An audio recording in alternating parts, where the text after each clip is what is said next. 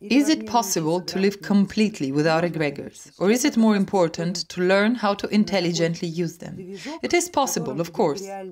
In fact, we are now transitioning to a certain type of an operating system where the presence of egregors will not be fundamental.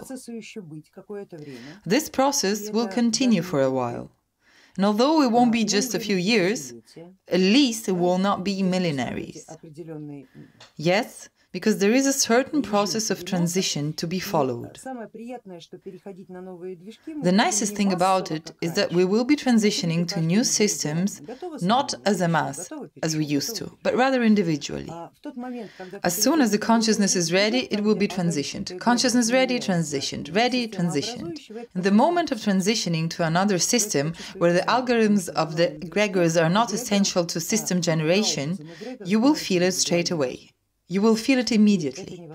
Because within the new system, it is the individual mind that will become an egregor, a prototype of an egregor, and it can't go unnoticed.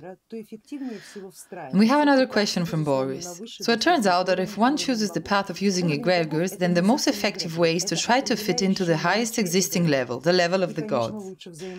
Level of gods? These aren't really egregors. They are the ones who determine the existence of egregors. And of course, it is better to directly interact with one's own gods, while understanding that egregors, for now, are necessary tools for interaction with all others.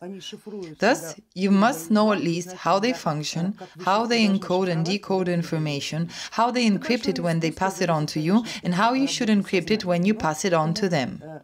It is a great art, and it depends, of course, on how one's consciousness operates. But this is precisely what all of our courses of the main department are dedicated to, and all other courses develop this very capability as well.